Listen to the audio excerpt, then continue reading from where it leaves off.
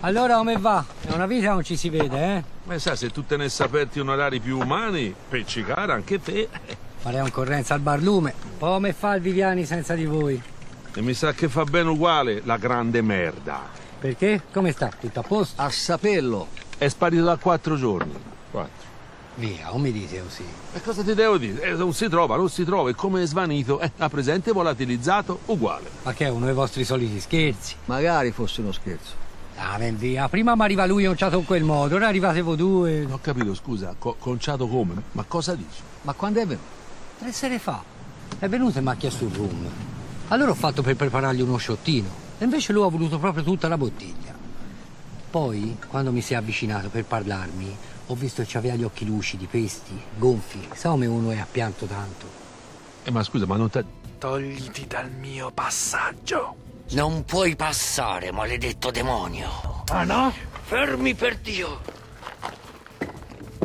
Siamo qui per la raccolta delle offerte. Siamo, qui per la benedizione. Chi è? Sì, siamo il prete, signore. Sono son Don Gualtiero.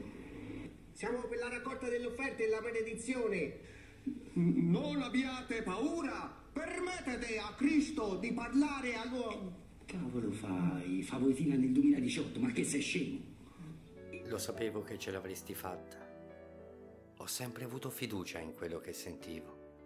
Adesso devi continuare il tuo viaggio e troverai qualcuno che saprà darti tutte le risposte. Io adesso devo andare.